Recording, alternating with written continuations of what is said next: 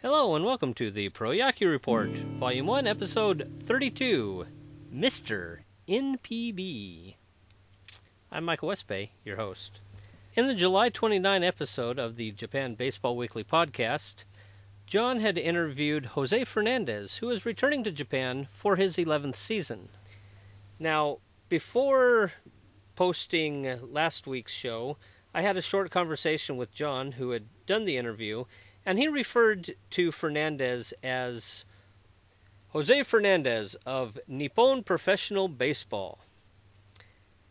I kind of thought this was an apt title for him, as he's really been around for the last 11 years. Uh, if you look at his career here in Japan, he first played for Lotte in 2003, then Seibu, Rakuten, and Orix. Then he's gone around again and played for Seibu, Rakuten, and Orix another stint each. So he's played for a total of four teams for a total of seven, you can call them stints. Now, of course, Japanese baseball is famous for its lack of people moving around. Now, this is kind of a double edged sword.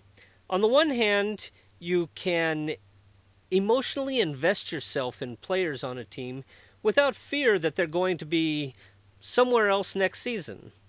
On the other hand, there are a lot of players who are very good, but they're stuck at Nigun behind some veteran who is very popular and unlikely to relinquish his spot at Ichigun. So these kind of players, if there was more movement I believe we could see more stars emerge, but they are just being held back because of the lack of movement. So, with that in mind, what I really wanted to know is is the case of Fernandez playing for four teams really unusual? And are there any Japanese players who have played for at least four teams? Um, you know, basically, what I want to know is who is Mr. NPB? Ah, Mr. Those of you who have followed Japanese baseball for a while will probably have come across somebody being referred to as simply Mr. That is Mr. Shigeo Nagashima, or Mr. Giants. Um, for him, just one word is all you need to describe him, and that is Mr. There's also a Mr. Tigers who actually refers to one of four people, the most recent being Masayuki Kakefu, the famous third baseman for the Tigers in their big uh, mid 1980s run. I started out my research on the Japanese Wikipedia page. Now, say what you want about the accuracy of Wikipedia, but I have found that the Japanese Wikipedia is especially when it comes to Japanese professional baseball, is not only very reliable, but often even more up to date than the official NPB site. Japanese fans have got Wikipedia covered. As expected, Fernandez was already listed there with Orix as his seventh stint. The list of foreign players on this page has both retired and current players. Unfortunately, the Japanese players only show retired players on this page, meaning that researching Japanese players is going to take a bit more of an effort. So for this phase, I'm just sticking to the foreign players for the most part. Of the foreign players, Jose Fernandez stands out well beyond all the others with a grand total of seven stints. The next highest stint total is held by Brian Sikorski, who has played for Lotte twice, the Giants, Yakult, and Seibu, where he just returned after a year abroad. Or is it domestic? Well, a year not in Japan.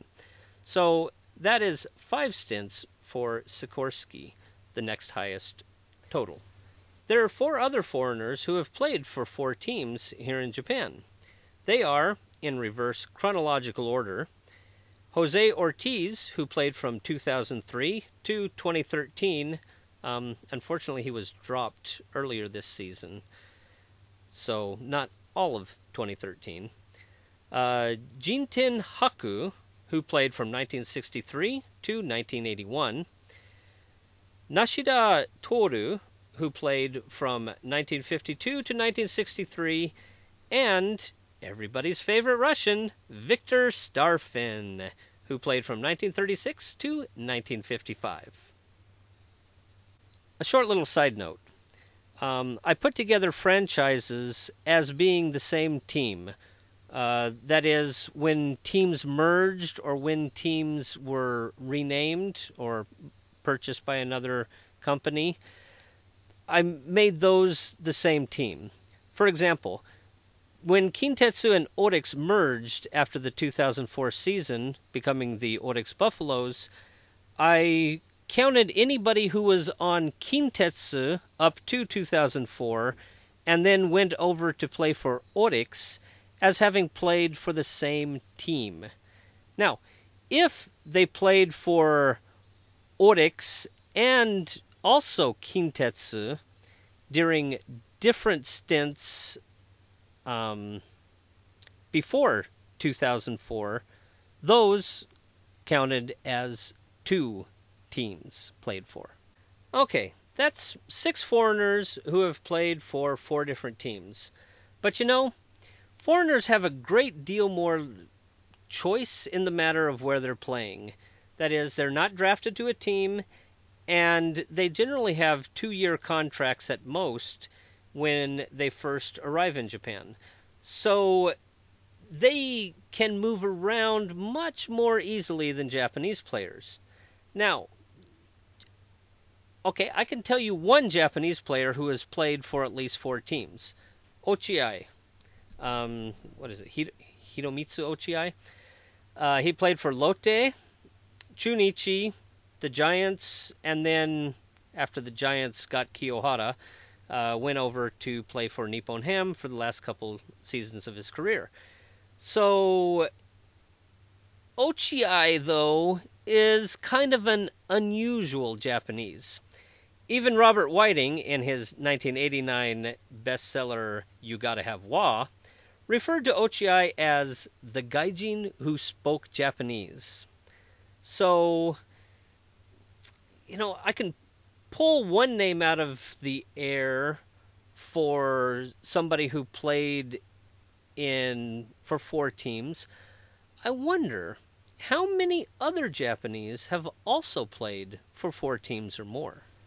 Preliminary research, thanks a great deal to Gary Garland's D- baseball data warehouse, suggests that there are 134 players who have played for four teams or more. I also get 20 players having played for five teams or more. Now, so far, I'm still working on this. Osamu Goto had played from 1955 to 1963 for what appears to be six teams. Uh, the Toei Flyers, Daiei Stars, Yomiuri Giants, Kintetsu Buffaloes, Nankai Hawks, and Nishitetsu Lions. I got real excited at first as Hisanori Karita looked like he had played for seven teams. However, when I applied my merging of uh, players who have played for the same franchise rule, it combined the Tokyo Senators with the Tsubasa and Taiyo teams into a single team, and that dropped Karita down to having just played for five. As I said, my first run finds 134 players having played for four more teams. Now, there's another little caveat about the data warehouse, and that is it only goes up to the 2011 season. So there's still a great deal of work to be done, which unfortunately has to be done manually. So for example, Norihiro Nakamura joined Yokohama in 2012. That became his fourth team. So now I have to go back and find everybody who has played for three teams, see if any of them changed teams in 2012, and add in more stints, basically, and teams. Also, there's the whole issue of merging franchises. So, I've got a little bit more work to be done before I can declare uh, Mr. Osamu Goto as Mr. NPB. But I really don't think anybody is going to unseat him. And now it's time for the Pocket Calendar. It appears that John and Jim take on Randy Messenger for this week's interview. After the interview, they talk about Makun's continued winning streak, and there are a couple of very compelling listener questions that they answer. I look forward to this week's podcast. I'm sure you do too. And with that, I submit to you this week's Pro Yakyu Report. Thank you for joining me. Until next week, take care.